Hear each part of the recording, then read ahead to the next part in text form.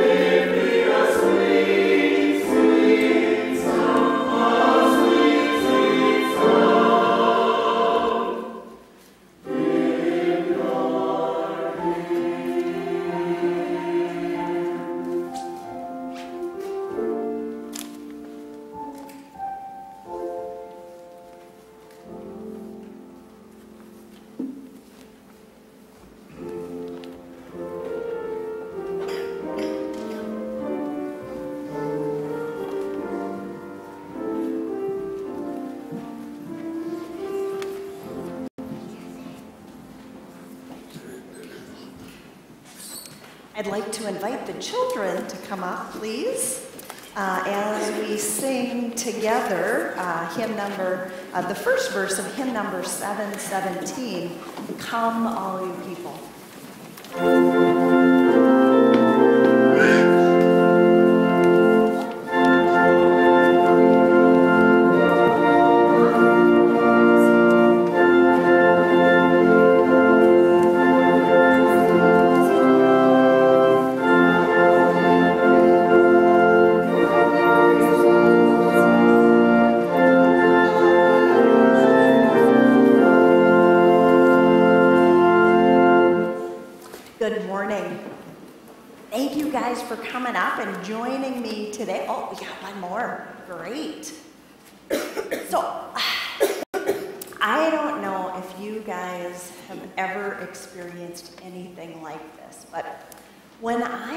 Little girl, once in a while, I would do something that I wasn't supposed to do.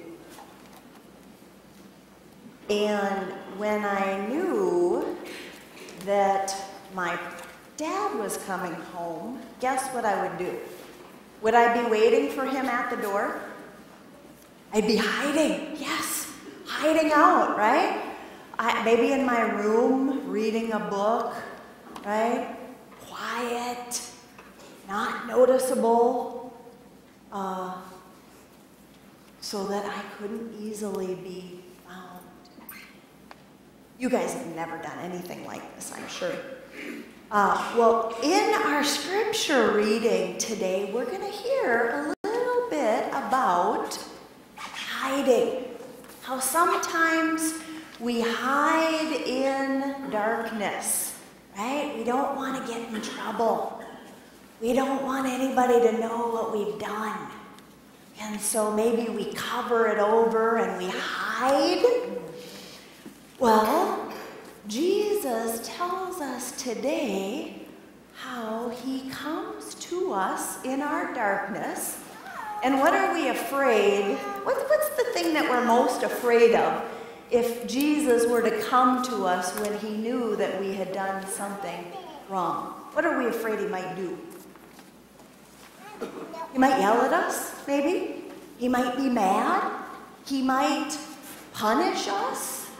He might tell us, get away from me. Uh, but in our scripture passage today, what Jesus says instead is that God so loved the world that he sent his only begotten Son, that whoever believes in him shall not perish, but shall have eternal life. So Jesus says when he comes to you, he isn't surprised, or when he comes to me, he isn't surprised at what we've done, right? He doesn't come to condemn us, but he comes to give himself to us, to give us his life that never ends, to give us his love that never ends. He comes to forgive us and to claim us. And do you know when the first time was that Jesus came to you in your life? Do you know when it was? Well, I'm sorry? When you were baptized, absolutely. So today, right here in this baptismal font, guess what's going to happen today? We have a little baby, Scarlett, and Jesus is going to come to her today in the waters of baptism uh, because God so loves you and so loves Scarlett and everybody here today, right? That he comes to us in baptism. And so today he's going to say to Scarlett, You are mine. He's going to say, Scarlett, uh, you're going to do something someday and you're going to think that you should hide. And he's going to say, But when I come, I'm going to forgive you. You don't have to hide anymore. Do you think there'll be consequences sometimes when we do something wrong? Yeah. But Jesus says, I'm not going to condemn you. He says, I'm not going to cast you away from me. I'm not going to wash my hands of you and say, You're not mine. But he says, Scarlett, you're mine forever.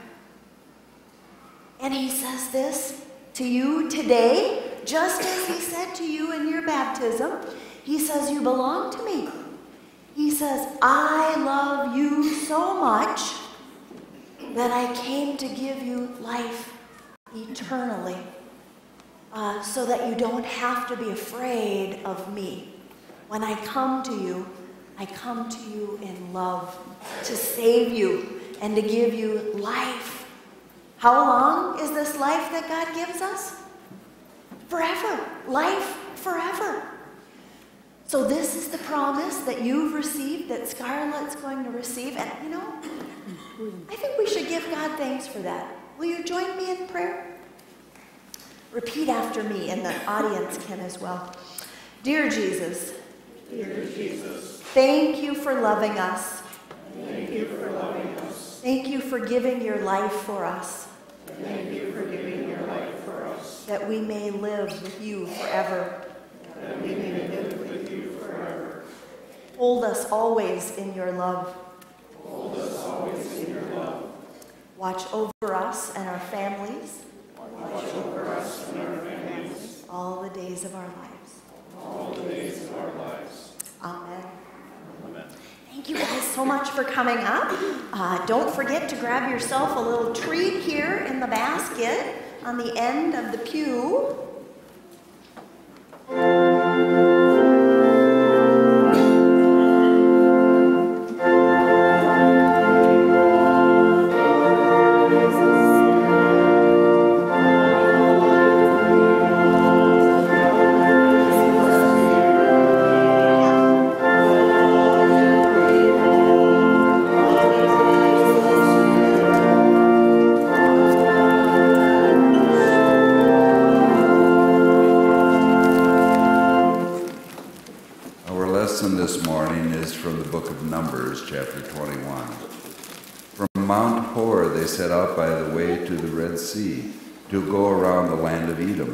But the people became impatient on the way. The people spoke against God and against Moses. Why have you brought us up out of Egypt to die in the wilderness? For there is no food and no water, and we detest this miserable food. Then the Lord sent poisonous serpents among the people, and they bit the people, so that many Israelites died. The people came to Moses and said, We have sinned by speaking against the Lord and against you. Pray to the Lord to take away the serpents from us. So Moses prayed for the people, and the Lord said to Moses, Make a poisonous serpent and set it on a pole, and everyone who is bitten shall look at it and live. So Moses made a serpent of bronze and put it upon a pole. And whenever a serpent bit someone, that person would look at the serpent of bronze and live. Here ends the lesson.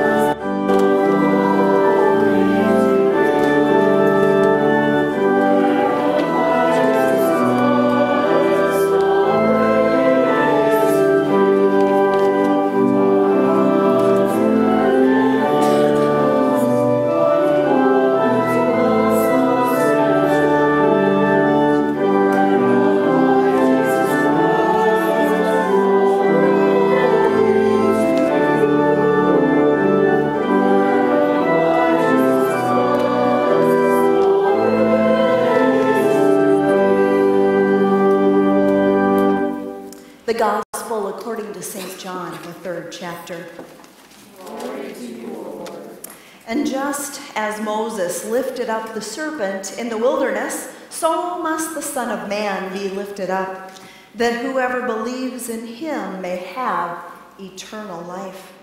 For God so loved the world that he gave his only Son, so that everyone who believes in him may not perish, but may have eternal life. Indeed, God did not send the Son into the world to condemn the world, but in order that the world might be saved through him. Those who believe in him are not condemned, but those who do not believe are condemned already, because they have not believed in the name of the only Son of God. And this is the judgment that the light has come into the world, and people loved darkness rather than light, because their deeds were evil. For all who do evil hate the light and do not come to the light, so that their deeds may not be exposed. But those who do what is true come to the light, so that it may be clearly seen that their deeds have been done in God. The Gospel of the Lord. Thanks be to God. You may be seated. Grace to you and peace from God our Father and the Lord and Savior Jesus Christ. Amen. Well, as I shared with our precious ones, uh, when I was little, I did things that I should not do. Well, guess what? When I was not so little, I also did things that I should not do. Uh, and the result of this in my adult life, now, many of you don't know me, you don't know the, the story of my faith. Uh, I was raised a Lutheran my entire life, baptized, Sunday school, confirmation. Uh, took my hiatus from the church and then had a child and came back to the church. Uh, taught a little Sunday school, attended what I thought would be regularly enough to be considered a, a good person. Uh, and then, uh, well, I found that I stayed on the fringe of the church. Uh, what we might call in the darkness, right? Uh, and this is often what we do uh, as people who want to be considered good people in the church. Uh, and yet we know that there are some things that we don't necessarily want others to know that we are doing or have done. Uh, and so until I heard the gospel, which was in my, well, mid to late 30s, this is what my life looked like.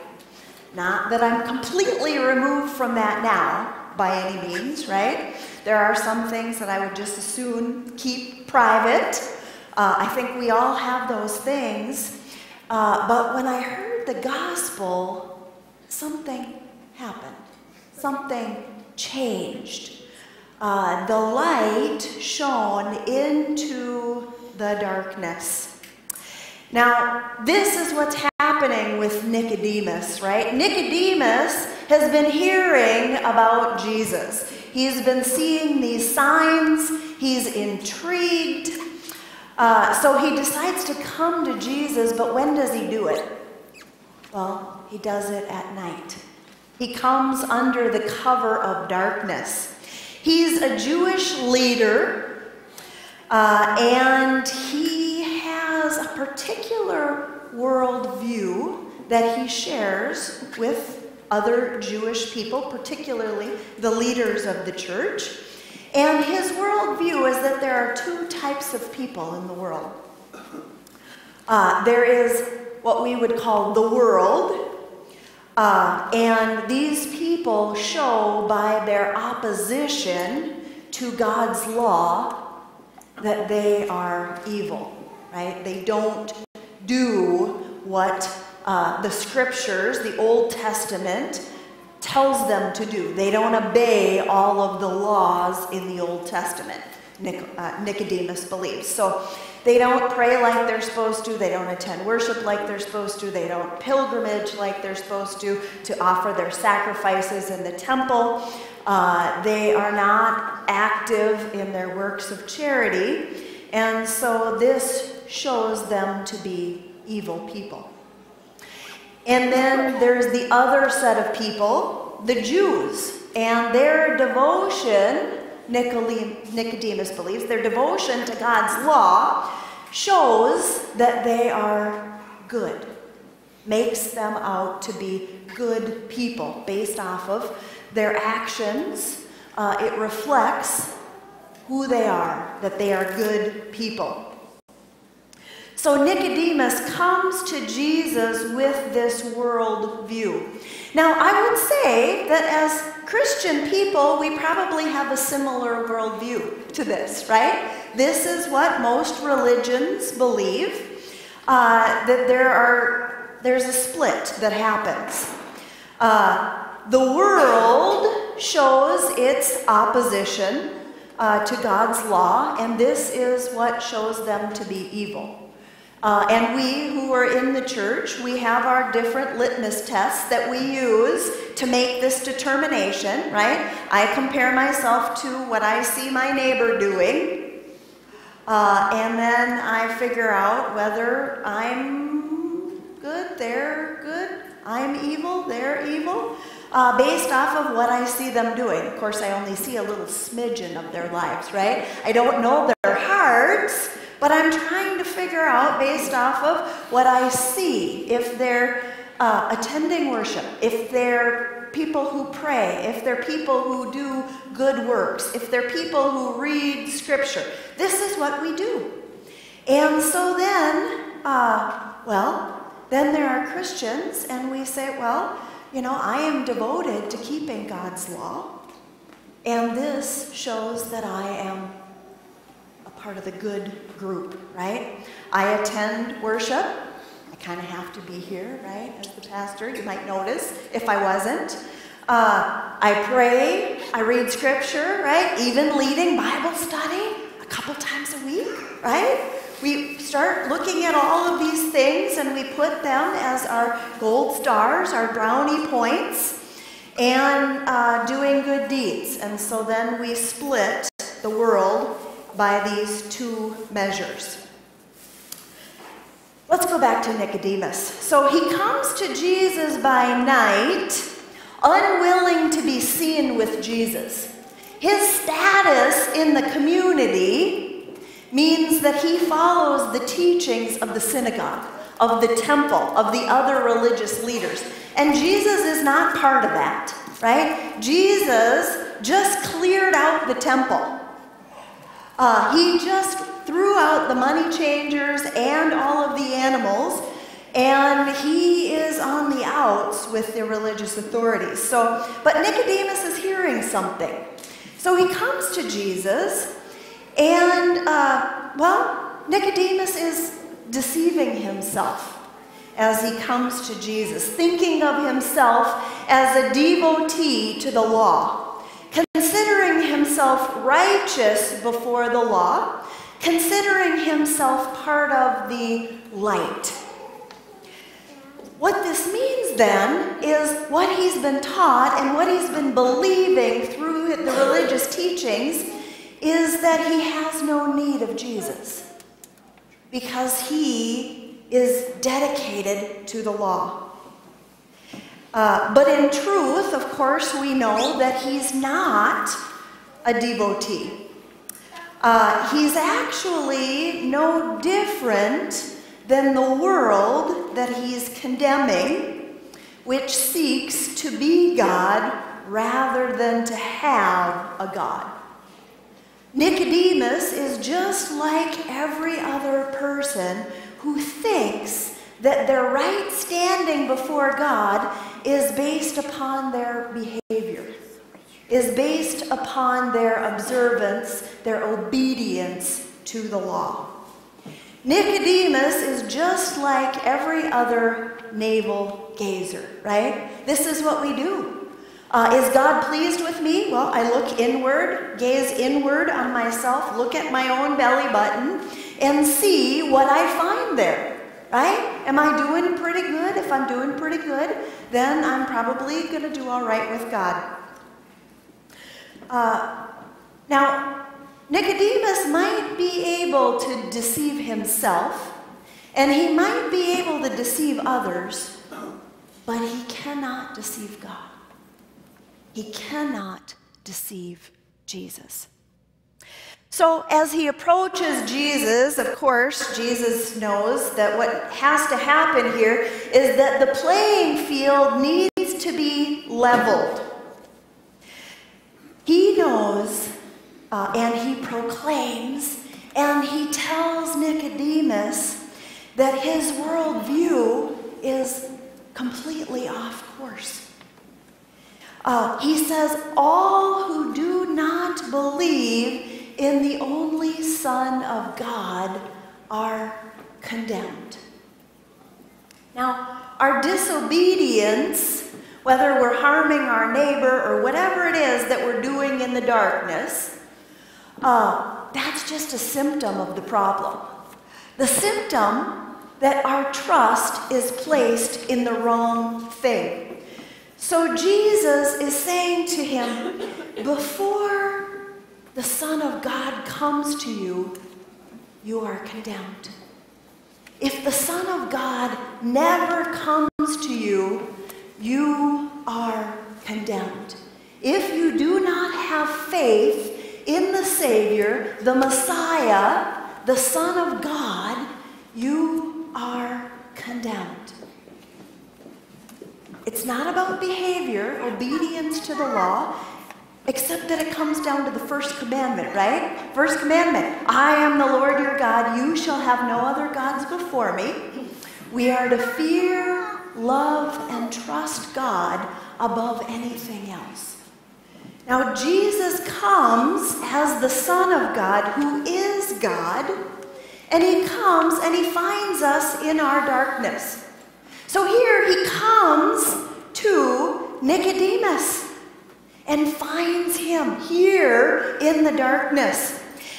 And we know that this hiding, it goes all the way back to Adam and Eve, right? Our first parents uh, who decided to trade their relationship with God, the promise that they had with God, the walking with Him in the garden, they decided that they'd rather have the knowledge between good and evil. They'd rather have that. They'd rather be like God than to have a God. They wanted knowledge and power and wisdom and understanding more than they wanted the creator of knowledge and power and understanding. So they traded the real deal for a lie. And then they were left hiding in the bushes, in the darkness, knitting together their fig leaves, trying to cover themselves and hide from God. Afraid to be found, not trusting that when God found them, that he would be good and gracious to them. But what happened when God came to them? Well, were there some consequences to sin? Well, yeah, there are consequences to sin. Today, each day, in our relationships, in our lives, in all of our callings to work, to family, to church, to community, our sin has a consequence. And Adam and Eve experienced this consequence. But they also received another word from God, a word of assurance, a word that said that this serpent that had tempted them, that had drawn them into sin, uh, that though he would continue biting the heel, Eve's seed would crush his head. Now, this seed is Jesus Christ. Jesus Christ is the one now who has come into the darkness and has come, arrived on the scene, speaking to Nicodemus, preparing to take the sins of the world upon himself all the way to the cross to take us out of the darkness, to bring us into the light, to crush the head of the serpent that he may not have us, that sin, that death, and the devil may not have us. And we see this here where Jesus says that just as the serpent was lifted up in the wilderness, right? We heard this in the first reading. They were murmuring against God. He sent the snakes. The snakes were biting them. They were dying. God said, Put the snake up. And if you look at what it is that's killing you, by faith you will be saved.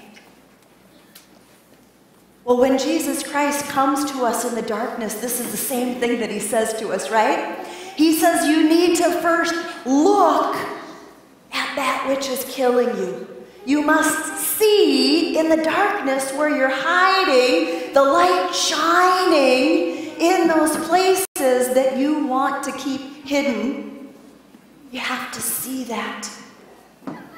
And then through faith in Christ's forgiveness of your sins, then you may be healed. Now, it's a painful process, right? It's painful. There are things we don't want to see about ourselves. But what happens is that when Christ comes to you and he says, I forgive you, I give you my life, I clothe you in my righteousness, I clothe you in my eternal life, what happens is we don't have to hide anymore. Right?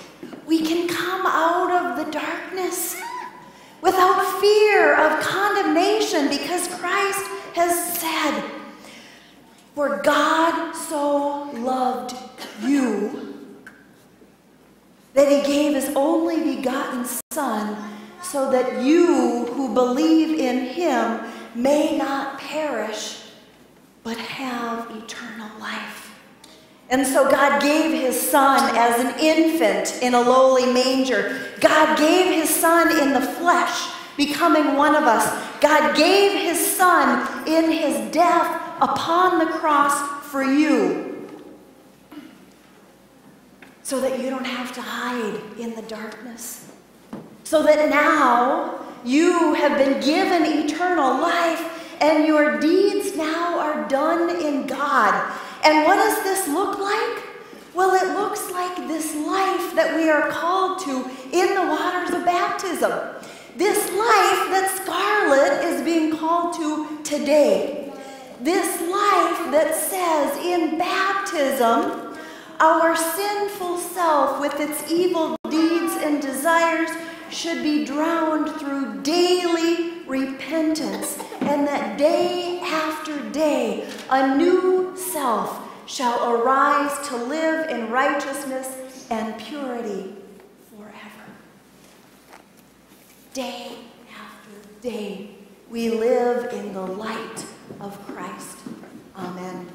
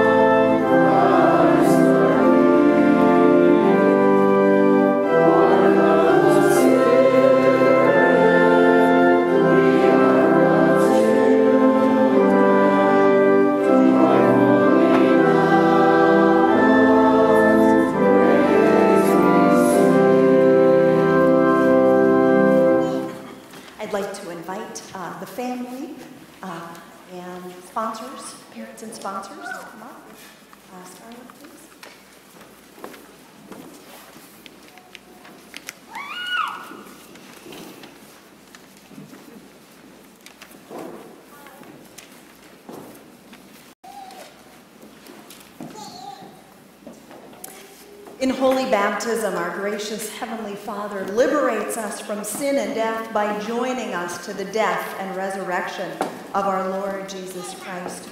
We are born children of a fallen humanity. In the waters of baptism, we are reborn, children of God, and inheritors of eternal life. By water and the Holy Spirit, we are made members of the church, which is the body of Christ. As we live with Him and with His people, we grow in faith, love, and obedience to the will of God. Uh, I ask you, sponsors, now uh, to please uh, say, uh, repeat these words after me. I present Scarlett Elizabeth Lund to receive the sacrament of holy baptism.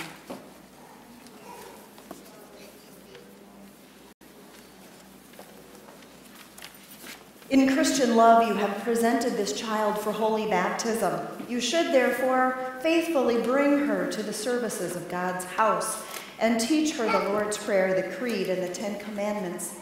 As she grows in years, you should place in her hands the Holy Scriptures and provide for her instruction in the Christian faith, that living in the covenant of her baptism and in communion with Christ, she may lead a godly life until the day of Jesus Christ. Uh, I ask the parents and sponsors now, do you promise to fulfill these obligations? If so, please say I do. Uh, we'll go to page 123, and I ask the congregation to join us. I ask you to profess your faith in Christ Jesus, reject sin, and confess the faith of the church, the faith in which we baptize. Do you renounce all the forces of evil, the devil, and all his empty promises? If so, please say, I do. I do. Do you believe in God the Father? I believe in God the Father Almighty, creator of heaven and earth. Do you believe in Jesus Christ, the Son of God? I believe in Jesus Christ, his only Son, our Lord. He was conceived by the power of the Holy Spirit and born of the Virgin Mary. He suffered under Pontius Pilate, was crucified, died, and was buried. He descended into hell.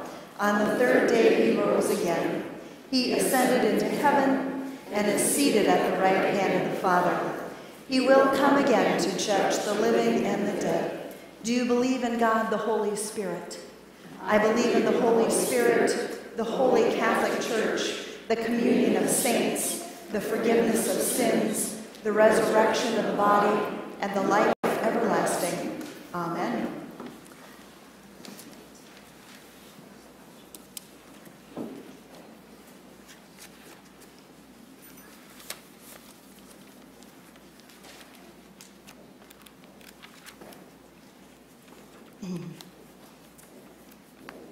Scarlett Elizabeth Lund, I baptize you in the name of the Father, and of the Son, and of the Holy Spirit. Amen.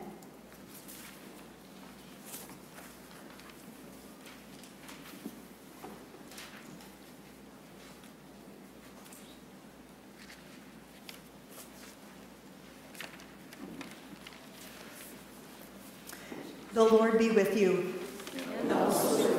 God, the Father of our Lord Jesus Christ, we give you thanks for freeing your sons and daughters from the power of sin and for raising them up to a new life through this holy sacrament.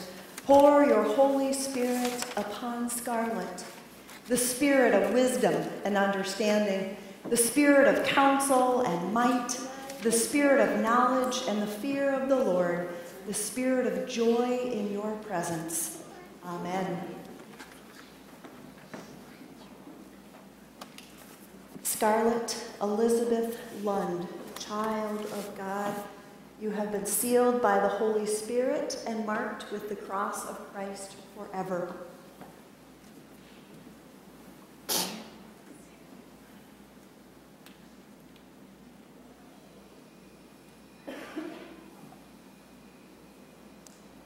Let your light so shine before others that they may see your good works and glorify your Father in heaven. O God, the giver of all life, look with kindness upon the fathers and mother, father and mother of this child. Let them ever rejoice in the gift you have given them. Make them teachers and examples of righteousness for their child. Strengthen them in their own baptism so that they may share eternally with their children the salvation you have given them. Through Jesus Christ our Lord. Amen. Through baptism, God has made this new sister a member of the priesthood we share in Christ Jesus, that we may proclaim the praise of God and bear his creative and redeeming word to all the world. Please join me. We welcome you into the Lord's family. We receive you as a fellow member of the body of Christ, children of the same Heavenly Father, and workers with us in the kingdom of God. Peace be with you. Uh, let us now share Christ's peace with one another, and I will uh, bring her up the aisle so you can see our newest sister in Christ.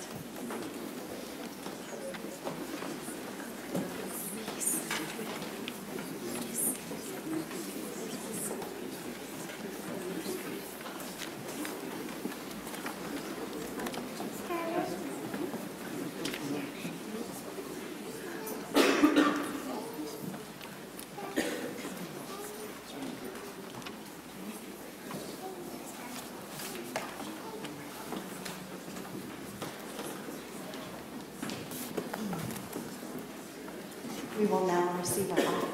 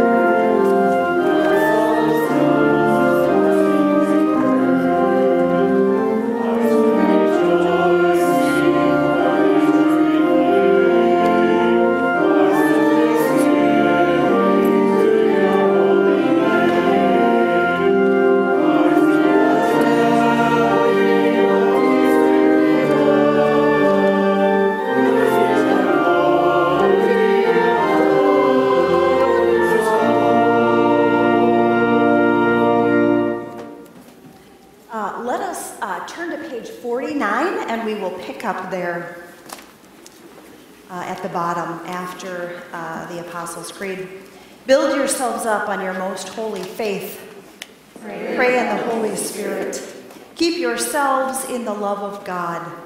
Look forward to the mercy of our Lord Jesus Christ. If anyone is in Christ, there is a new creation. Everything old has passed away. Behold, everything has become new. God has given us the ministry of reconciliation. Therefore, let us be reconciled to God and to one another. Gracious God, have mercy on us. In your compassion, forgive us our sins, known and unknown, things done and left undone. Uphold us by your Spirit, so that we may live and serve you in newness of life, to the honor and glory of your holy name. Through Jesus Christ our Lord.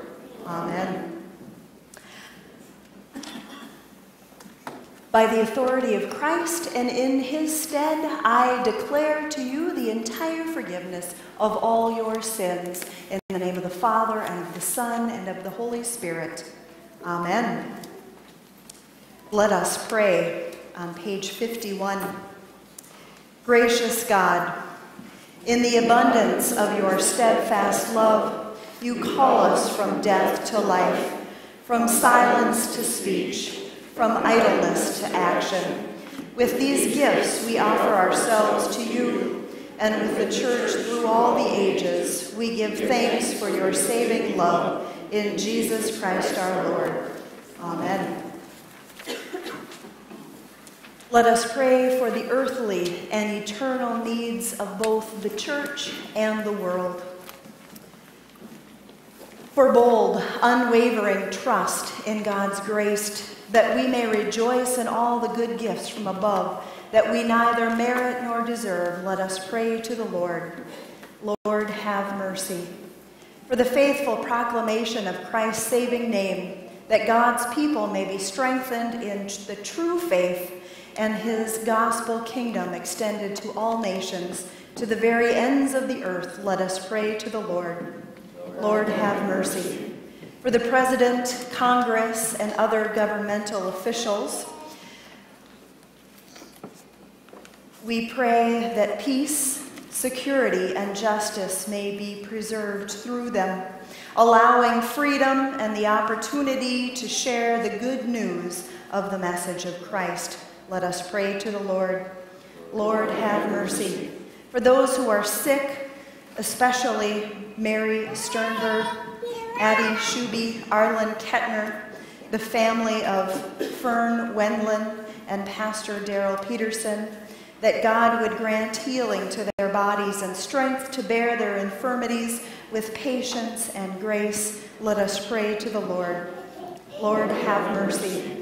For those who suffer from the lack of any human necessity, that those who have been blessed with abundance may cheerfully share, let us pray to the Lord.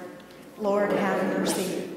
O Lord, God of heaven and earth, merciful and gracious, graciously receive our prayers. Deliver and preserve us for the sake of Jesus Christ our Lord. Remember not our sins, but forgive, renew, and strengthen us to fight the good fight of the faith. Protect us from the assaults and temptations of the devil, the world, and even our own sinful flesh.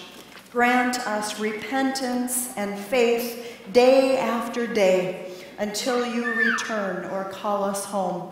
For to you alone we give all glory, honor, and worship, Father, Son, and Holy Spirit, one God now and forever. Let us pray together the beautiful prayer that our Lord Jesus has taught us. Our Father, who art in heaven, hallowed be thy name. Thy kingdom come Thy will be done, on earth as it is in heaven. Give us this day our daily bread, and forgive us our trespasses, as we forgive those who trespass against us. And lead us not into temptation, but deliver us from evil. For thine is the kingdom, and the power, and the glory, forever and ever. Amen. Receive now this blessing. Almighty God, Father, Son, and Holy Spirit, bless you now and forever. Amen. Our closing hymn can be found on page 657, The Glory of These 40 Days.